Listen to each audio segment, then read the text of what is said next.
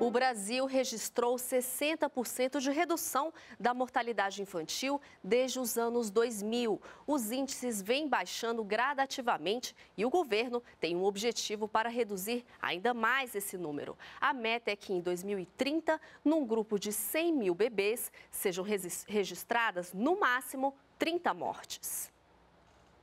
Foram registradas 20.200 mortes no ano passado. É a menor taxa de mortalidade infantil e fetal por causas evitáveis dos últimos 28 anos. Os dados preliminares são do painel de monitoramento da mortalidade infantil e fetal do Ministério da Saúde, que também indicam que houve queda nos índices de mortalidade de mulheres em idade fértil nos últimos quatro anos. Foram 62.641 mortes no ano passado.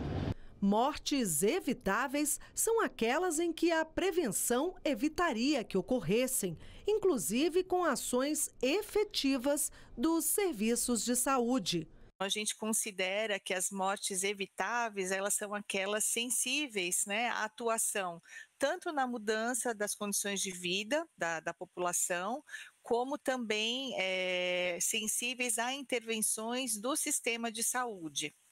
Então, quando nós classificamos né, esses óbitos, é, nós sempre buscamos fazer a classificação de evitabilidade para buscar é, aprimorar as nossas intervenções de saúde, né, visando é, prevenir novos óbitos. No ano passado, o governo federal ampliou o direito de assistência psicológica às mulheres, antes, durante e depois do parto no SUS. Outro investimento para mães, bebês e crianças é a reconstrução da rede Cegonha, referência para o enfrentamento à mortalidade materno-infantil no Brasil. Além disso, há várias medidas que prometem reduzir ainda mais esses números. A primeira etapa do novo programa de aceleração do crescimento na área da saúde vai investir 4,7 bilhões de reais na construção de 36 maternidades.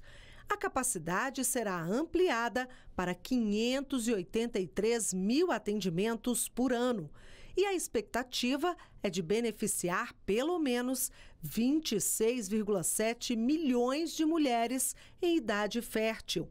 A meta é reduzir para até 30 mortes por 100 mil nascidos vivos até 2030 existem né, pesquisas mostrando, por exemplo, que os programas de transferência de renda eles têm um impacto, né, tanto na mortalidade infantil como na mortalidade materna também, porque especialmente, né, quando esse programa de transferência de renda ele caminha junto com a ampliação do acesso aos serviços de saúde, como foi, né, o, o, a opção do Brasil. Então, além do programa Bolsa Família fazer a transferência de renda, também existem condicionalidades no setor saúde que visam ampliar o acesso da gestante ao pré-natal e das crianças à vacinação, ao acompanhamento do crescimento e desenvolvimento.